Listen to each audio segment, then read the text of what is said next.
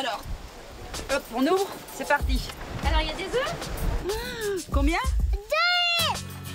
C'était dans l'air du temps. Les semaines du confinement l'ont rendu évident. Les petites idées au niveau d'un quartier, d'une vallée ou d'un simple groupe de voisins peuvent à peu de frais améliorer le quotidien. Des initiatives citoyennes qui deviennent le symbole de ce que l'on appelle désormais le monde d'après. Voilà. Dans ce quartier d'Aetz, une vingtaine de personnes gèrent en commun ce poulailler. À tour de rôle, les familles engagées nourrissent les six volatiles avec les restes de leur repas. Tiens, mets bien dedans. Ils aiment le riz pas cuit. Ils aiment euh, la peau de, de la pomme et aussi de la salade. Est-ce qu'il y a des œufs? En échange, les poules offrent le meilleur d'elles-mêmes. On est plusieurs euh, familles à se partager ce poulailler, donc c'est pas contraignant puisqu'on a 15 jours par semaine. Euh, et puis c'est bien surtout pour les enfants, pour qu'ils voient un peu la vie, euh, au lieu d'acheter ses œufs au supermarché, euh, on a nos propres œufs. Voilà. Situé au milieu de jardins familiaux, ce poulailler en bois tout équipé a nécessité 3000 euros d'investissement. Chaque adhérent verse 20 euros par an et se transforme en fermier un jour par semaine. Elle ramasse voir s'il n'y a pas des crottes. Et moi, je, je prends les crottes et je les mets dans un seau. Wow, elle est grosse, ça c'est vrai. Enfin, trois composteurs recueillent la paille usagée et les légumes des familles, systématiquement pesés. Une fois, je crois qu'on a eu euh, 5 kilos quand même dans la semaine, hein, donc c'est pas mal. hein. Le fait de peser, on se rend vraiment compte de ce que ça représente en moins dans la poubelle. Voilà. En moins d'un an, avec cet outil tout simple, près de 2 tonnes et demie de légumes ont été valorisés. Avec deux poules, on peut réduire ses déchets de 150 kg par an. C'est facile à mettre en place dans plusieurs communes, je pense qu'on pourrait le faire. Et si on se donnait rendez-vous sur un petit bout de terre, tous des jardiniers pour semer, replanter, refleurir, assez de paroles, changeons l'air. Du compost, ces bénévoles des carrioles vertes veulent en fabriquer dans tout le Pays Basque, en commençant par recueillir un maximum de déchets de fruits et de légumes dans les restaurants de Bayonne. Certains, malgré le confinement, continuent à jouer le jeu. Elles ont commencé à collecter en septembre dernier, ont investi 8000 euros notamment pour l'achat d'un vélo électrique et de sa carriole. carottes, poireaux et puis de la butternut, euh, de la courge. Cette légumerie coopérative travaille des produits frais pour des cuisines de collectivités. Nous, on a déjà euh, une éleveuse de poules à qui on fournit aussi euh, des épluchures. Puis bah, les carrioles vertes sont arrivées après et du coup on fournit les deux. Et là au moins on recycle et puis euh, plutôt que mettre dans les poubelles, c'est plus simple. À terme, les carrioles vertes veulent installer dans les villes des conteneurs pour recueillir les légumes des particuliers comme on le fait pour le verre. L'association se charge ensuite de faire le compost, une technique qui demande un savoir-faire précis. Là, attendez, parce que j'ai pas compté.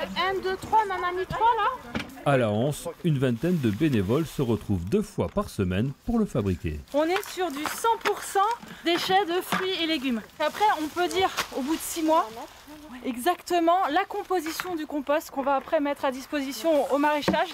Et on peut vraiment leur garantir non seulement un compost de qualité, mais 100% local. C'est comme toutes les initiatives locales, ça peut paraître comme une goutte d'eau, mais quand on regarde le nombre d'initiatives qu'il y a ici au Pays Basque, euh, non, on n'est plus du tout une goutte d'eau. hein. La clé de la réussite de ce monde de demain, c'est de le faire bien. On s'est dit, il y, a, il y a énormément de biodéchets dans les villes. Il y a des campagnes alentours qui produisent des, des fruits et des légumes pour la ville. Ben, ce serait chouette d'avoir une espèce de lien. Mais l'utilisation en maraîchage, elle suppose quand même une pratique euh, professionnelle en fait, hein, parce qu'on ne peut pas se permettre de donner aux maraîchers des produits qui ne seraient, pas, euh, seraient pas fiables.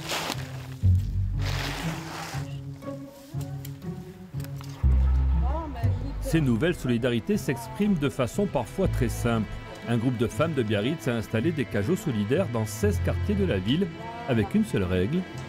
Si tu peux, tu mets. Si tu ne peux pas, tu prends. Voilà, c'est tout simple l'idée.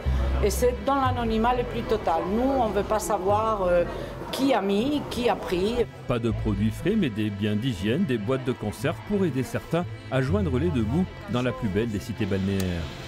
C'est une ville merveilleuse où il fait bon vivre, mais il y a beaucoup de gens en difficulté, plus qu'on ne le pense. Mais en même temps, il y a des personnes, euh, des mamans isolées qui dorment dans leur voiture avec les enfants alors qu'elles ont un travail et tout.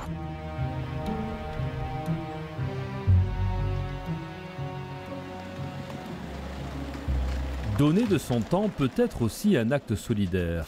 Hello Véronique, ça va? Et toi? Oui. Dans un premier temps, la, la poste, la poste à Saint-Jean-le-Vieux, aussi parce que j'ai un courrier important que je dois retirer impérativement aujourd'hui. Et est-ce que je peux profiter pour aller jusqu'à Inter euh, pour faire une petite course? Bien sûr, tout à fait. Dans la vallée d'Ergaraï, au pied de la forêt d'Irati, vivent de nombreuses personnes âgées, isolées. Un réseau de 8 chauffeurs bénévoles leur vient en aide à la demande. L'abonnement coûte 10 euros par an, le trajet 30 centimes du kilomètre. Les frais de carburant sont ainsi remboursés aux bénévoles. C'est souvent le, le coiffeur, les courses à inter, quelquefois c'est le dentiste, bon, chez le médecin quand le médecin ne peut pas venir. Mais voilà, ce sont des, des petites courses tout à fait courtes aussi en même temps parce que ça ne dépasse pas Saint-Jean-Pied-de-Port, on ne va pas au-delà. Bon, je vais vite passer. Créé en décembre 2018, le service a déjà prouvé toute son utilité pour maintenir un lien social dans cette vallée éloignée. Bonjour Ça va? Ça a été? Ouais, dedans deux, deux petites secondes, allez viens. On discute beaucoup avec les personnes et on se rend compte maintenant de plus en plus qu'il y a une confiance qui s'est installée aussi avec les bénévoles.